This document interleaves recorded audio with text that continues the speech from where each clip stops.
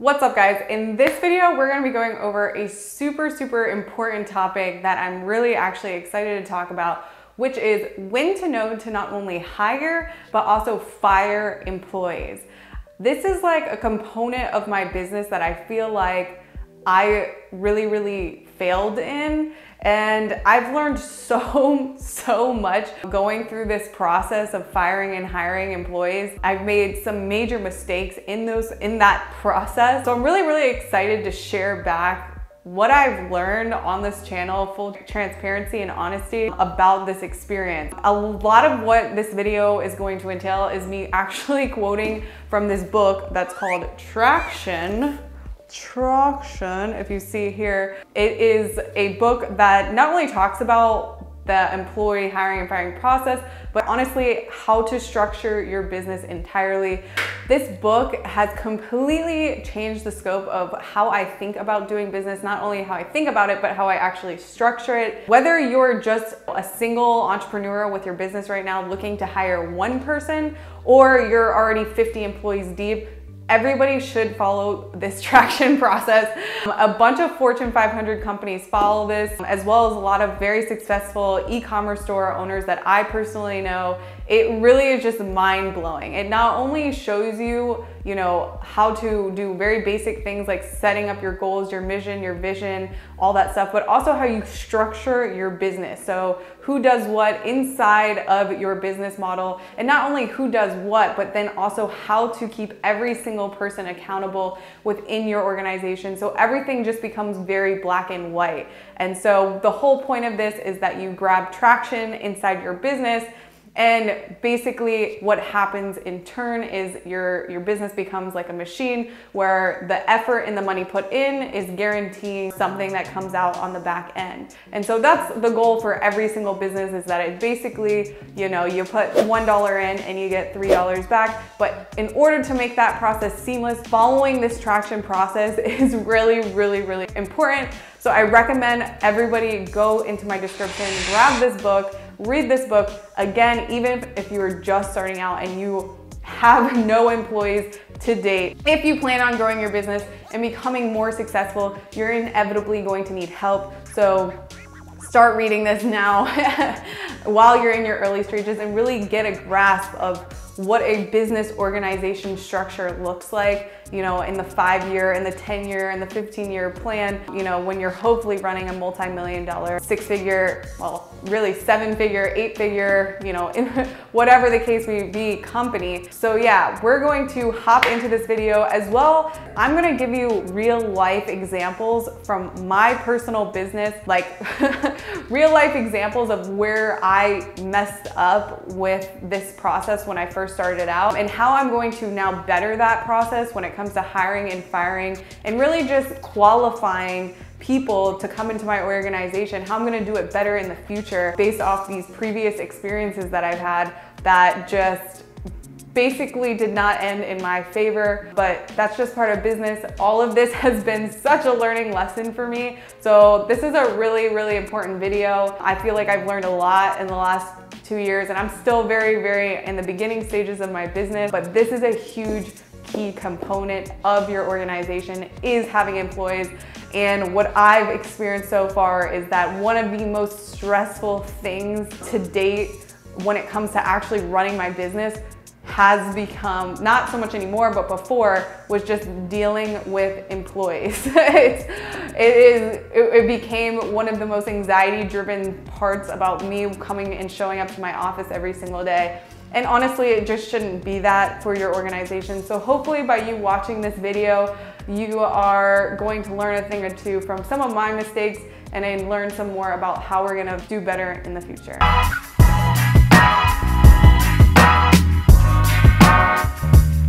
By the way guys, my name is Hannah Gardner and if you are new to the channel, make sure that you subscribe to the channel if you get any value out of this video because we talk about e-commerce, anything and everything with making money, selling products online. So if that is what you are into, please go ahead and subscribe to the channel and be sure that you're commenting down below if you have any questions about anything.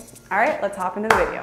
All right, so the first thing that we're gonna be talking about is when should you actually hire your first employee?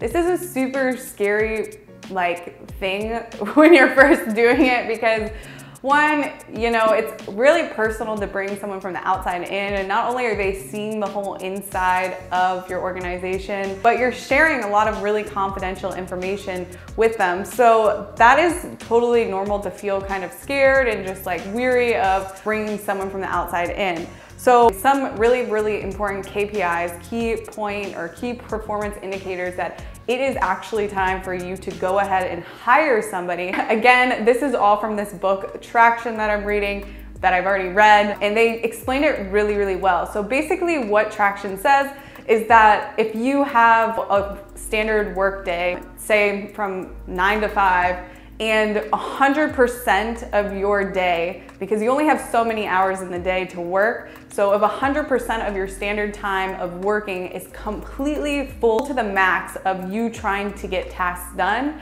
and you actually get to a point where 120% effort is needed to complete all your tasks that you have to get done within a day, then that 20% of extra effort, or maybe even 20% of stuff that you don't even have enough time to get done in a day done, that's a really, really good KPI telling you that maybe you need to bring somebody in to actually help you with that new, that with that 20% of stuff that someone else can come in and do.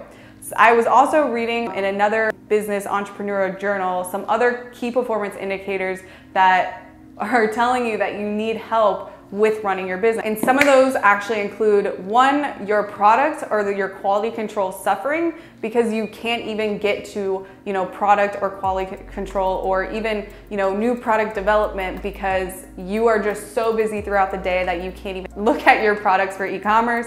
Two, you don't have time to focus on more growth. So you are kind of at like a standstill, or maybe you are growing and other parts of your business are suffering, but you personally can't, you don't even have enough time to search for more outlets or new outlets of growth because you can't even handle the traffic that's coming in as is.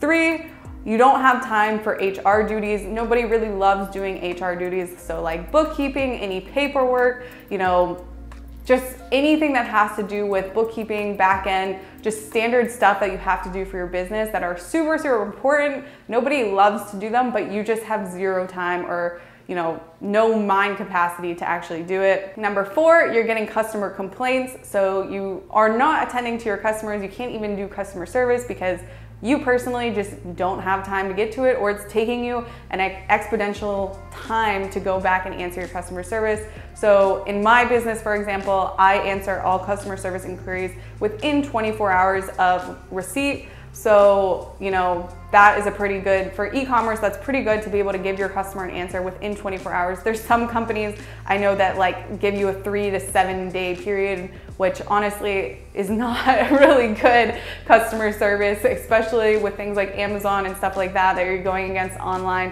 where, you know, customers are expecting attention you know, right then, now, when they're when they're asking questions or if they are having issues with their order, whatever the case may be. And the last time is that you actually have zero time for any break or vacation, and that includes even just taking off a weekend or um, an afternoon. So if you literally have no time to take a break, because as a business owner, you know, one of the big goals is that you're getting time freedom, freedom to do whatever you want when you want because you own your business. And if you don't have that, obviously in the beginning, no one really has that. But if it's down the road and you're just slam packed all the time, that just even taking an afternoon off, that could kind of be a, a KPI that you need that amongst other things going wrong in your business that you need to, you know, bring somebody else in from the outside. Now, when it comes to actually qualifying and looking for somebody to hire, where do you look? Well, I'm gonna tell you what I did from my experience and what I did completely wrong and how I'm going to actually do this better in the future. So just, uh, just to give you some full disclosure, a few months ago, my business, my organization grew to six people. So me and five other people that I was managing. And today, to this point, we basically only have me and one other person and then a contractor. So we went from six people in total to now basically two people and a contractor. And that is all because of what I'm about to talk to you about when it comes to getting the right people in the right seats within your organization. So when I first started out, my hiring process was kind of just like it just non-existent. We didn't really have a process. Even now, it's something that I'm just learning about and developing uh, and preparing for it in the future. So before I hired my first person, which is you know, what a lot of people do is you just hire a friend or a family member and there's no really qualifying process because you just need help and that's fine. And that's kind of what I did. Later on, it definitely did bite me in the butt. If you are just in desperate need of some help, go ahead and do that. But if you wanna do it a little bit more properly, I would recommend that you actually qualify the person that you're bringing into your organization. So what does that mean? That means actually setting up a professional interview process. Um, and by the way, just a side note, uh, where I did find my first employee was from Indeed.com. I put out a, basically a, uh, like a a flyer or something, you put out an ad that you're, you know, help wanted and you're actually in there putting all the qualifiers that you need them to do for you. So Indeed.com is a good one. A lot of people use Upwork for virtual assistants to get some, you know, help from people over the seas overseas. So Upwork's a really good place to find people in places like the Philippines or Thailand to come in and work for you because the wages there are a lot cheaper. I did work with a virtual assistant before and I'll make a whole video on how to find a really good virtual assistant, but you can find really, really good qualified people to work for you virtually. So Upwork, Indeed, if you're looking for someone to actually come into your office or your warehouse to work for you. Upwork, if you're looking for a virtual assistant. So somebody to do your customer service, answer emails, take wholesale orders, stuff like that. It's really good for a virtual assistant because even though you in the US might be paying less, over there you're actually paying a really good wage for what they make overseas. So it kind of works out in both people's favor. Going back to that qualifying process, I would say that you want to interview them and make sure that they really align with your company's core values. This is something that the book talks about a lot. When you go to work at a restaurant or you go to work anywhere corporate, you, there's usually some type of culture. And for you owning your business and just starting out, you need to define what that culture is and what your core values are for your business. So for example, in the book, they give an example of some core values of a company, and I'll read them to you now. One, be humbly confident, grow or die. Three, help first. Four, do the right thing. Five, do what you say. So those are and those are some examples of a company's core value. For me, one thing was not taking no for an answer or not, I don't remember exactly how I worded it, I have to look at my chart, but it's basically like you know, you're here to do higher level thinking, so solve problems. Problem solving approach, sorry. It's a problem solving approach. So just because you don't understand something, that doesn't mean you just stop, right? You, you figure out what it is that you need to figure out to solve the problem. So that's an example of a company core value. So you really, really want to define that. Being, being accountable could be another one. So showing up on time, right? Like those are values, things that you know, companies really, really are looking for when they have somebody in their organization. So when you're looking and qualifying these people, you wanna make sure that they align with your company's core values, right? So going back to my example with the problem solving approach, I would use a qualifier question like, tell me about a time where you experienced a problem and what lengths you went to overcome that problem, right?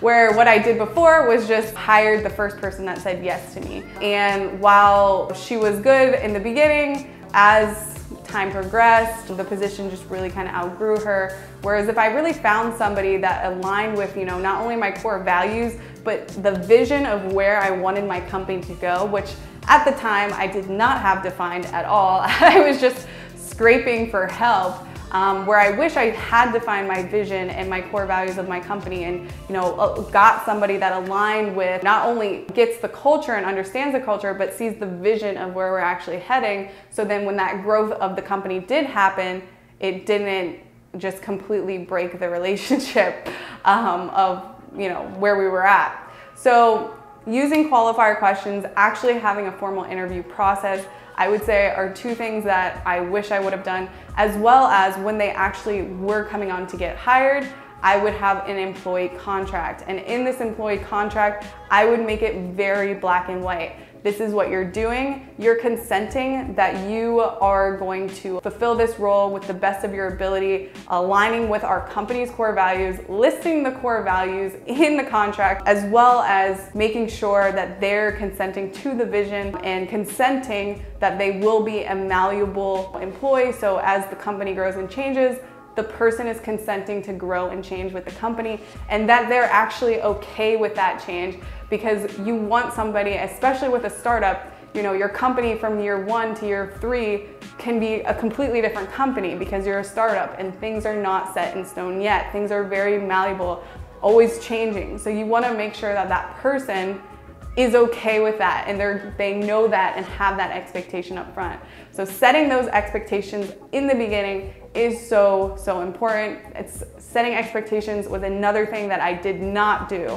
So in my company, there was no expectation of coming on time not being on your phone, changing with the company as the company is growing. Those were no, none of that was put into a contract, more or less disclosed to the people that I first hired when I was first starting out. So all those things are super, super important to put them into the contract. So if a problem does arise, hey, you signed this contract, you said that you were going to grow and change with the company. You said that you would show up on time. You said that you are not gonna be on your phone for four hours out of the seven hours that you're here, but you're doing that, so I'm confused.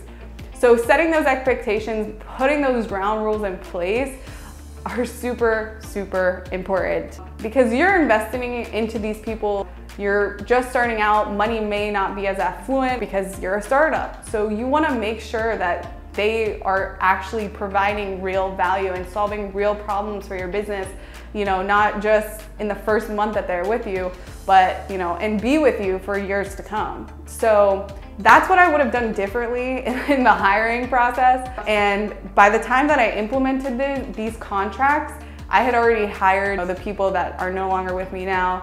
And so it's kind of like setting the bar super, super low when they're first starting out and then all of a sudden I'm reading this book and now I'm throwing rules and like regulations on them and giving them contracts and trying to actually make my business like a business. And now all of a sudden it's like, all it really does, to be honest, at the end of the day, is it makes your bar set super low. And then when you actually need, you know, better performance, better this, better that, higher level thinking there, better work here, showing up on time. All it really does is just make them super, super entitled and and I like to give this example. The first girl I hired, I was always so afraid of like them not liking me or just not being like the cool boss. And again, for instance, like I was saying before, I had one girl that showed up late every single day for a year. And then the one day that I needed her to stay late because we were running behind, she gave me this crazy attitude because I needed her to stay 30 minutes late. And that entitlement only came because I set that expectation so low, right? So it's like in my mind, I'm like, really? Like you showed up late every single day for the last year and now the one day I need you to stay later, you're not gonna help me out. and that again, that's all entitlement because I never put the groundwork I never set the floor high. I never set the bar high. I was always kind of just like, yeah, I'm the cool boss. I'm your friend. At the end of the day, all I really did was just hire unqualified people to be inside my organization and got taken advantage of because I didn't do, I didn't set things up properly. And again, that's my fault and, that, and it's all part of the learning experience of having employees for the first time. So learn from my mistakes. So now we're going to look at when you should know that you actually need to go ahead and fire somebody. Now, this is super, super uncomfortable. For me, again, was hire, like not only employee management, but then firing was so uncomfortable for me. Like I literally would, this stuff would keep me awake at night. And you should just never have a relationship with your business like that. More or less, like not even feel comfortable to show up to your office space because you know the quality of work they're putting out is just doesn't meet your expectation, but you're just too afraid to say anything. And this just comes with getting a backbone, just really seeing from a greater picture how it's hurting your organization because at the end of the day, it's not about you and your relationship with your employee you're in that room working together for a business. So it's not about me, it's not about Hannah, it's about the organization, right? So it goes beyond a friendship, it goes beyond, I'm afraid I'm gonna hurt her feelings or his feelings, whatever the case may be. You're running a business, so you're doing it on behalf of a greater thing, right? So that was something that was really, really hard for me to overcome.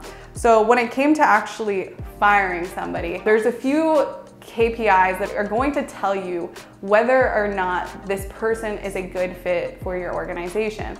So I'm gonna put in here actually this chart. This is called a people analyzer. This is something, again, that's inside Traction and it makes everything black and white. Like, it makes it so easy to vet out a good employee from a bad employee. So the first thing in the chart, as you'll see, is on the top is your company's core values. And in the chart, you're gonna fill out a plus or a minus or a plus or minus.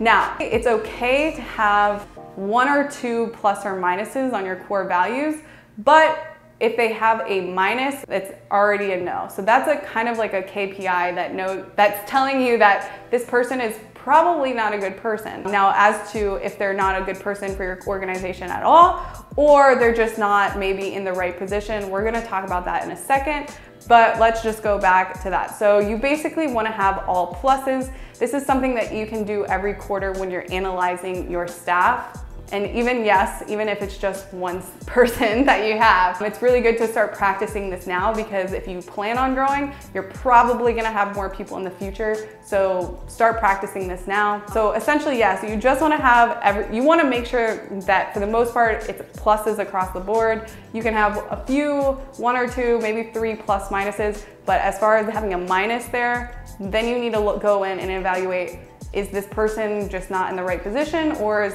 they're just not supposed to be in this organization at all? So again, at the top, you'll see that they have the your company's core values and then on the last three columns, you're gonna see a GWC.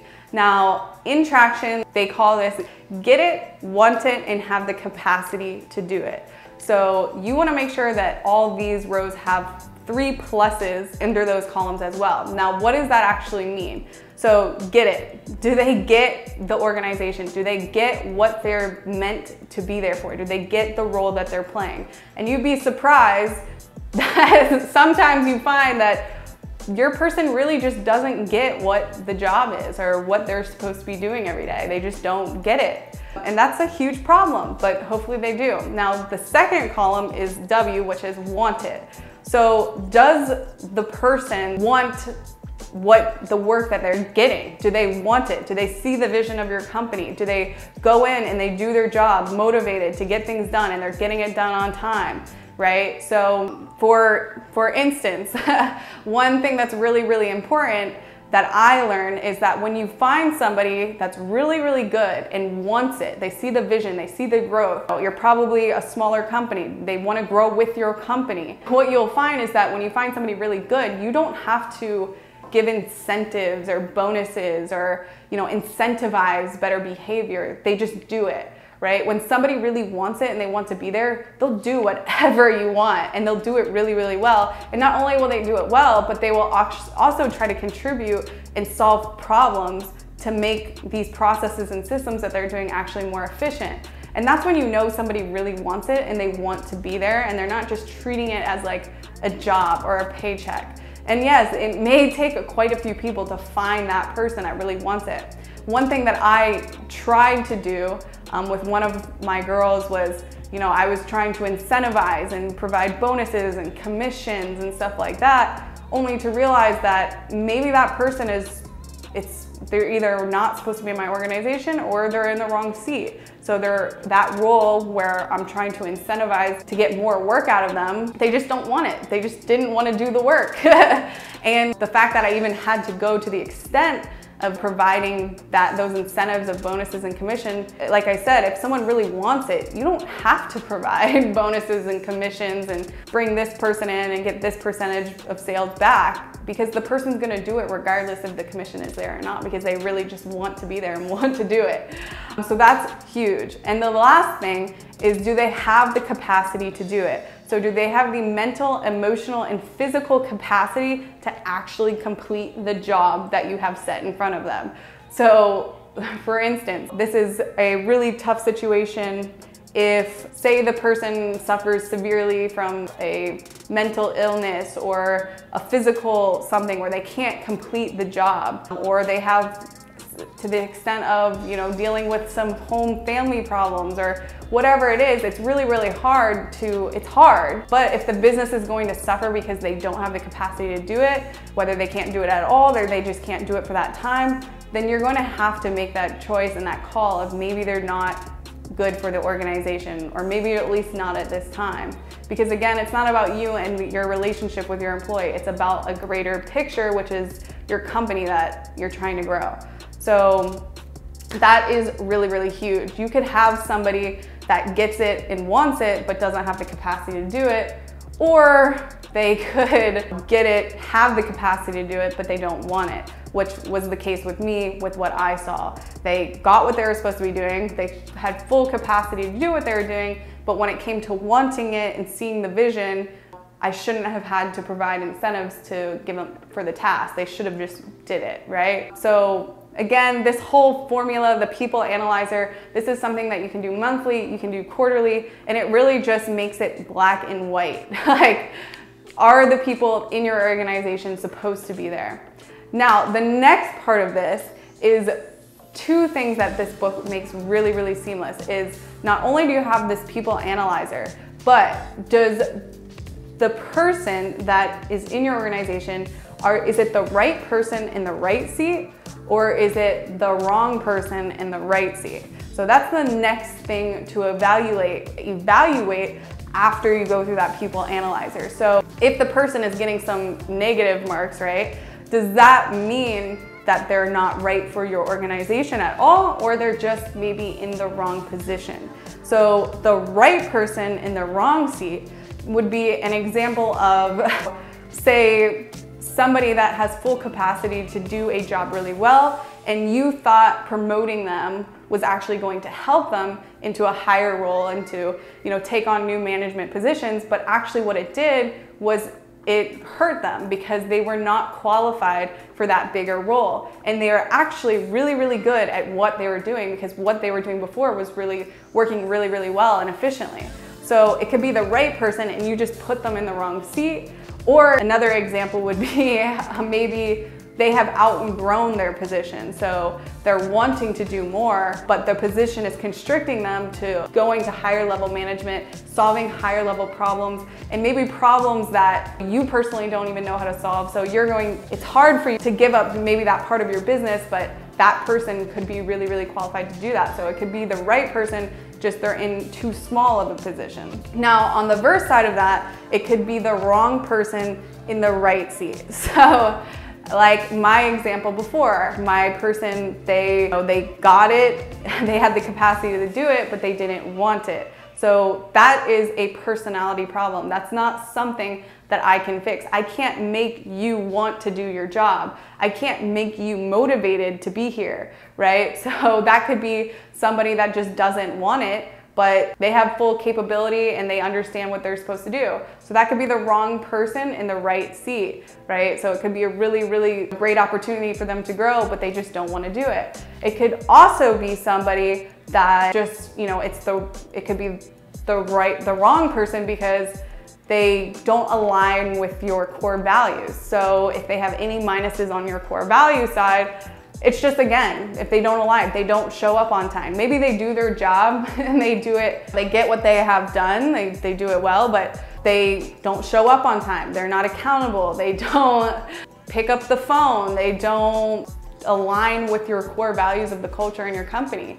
So again, that could be the wrong person in the right seat, in which case you know that maybe they're not supposed to be in your organization. All of these things have really, really helped me create a formula of what I'm going to look for in the future and how I'm really going to not only vet people, but when I will, I'll know very clearly when they have overstayed their welcome inside my business. Because again, at the end of the day, it's about the business. And so if they're hurting your business or they're preventing you from doing your job well as a owner, then that's really at the end of the day, it's hurting your organization, it's hurting your growth.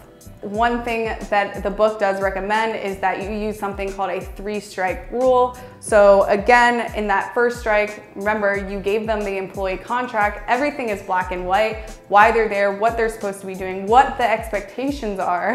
now, if they start, say something's going wrong in their performance, the three strike rule is basically what it says is that you go and address the problem and you give them 30 days to fix it.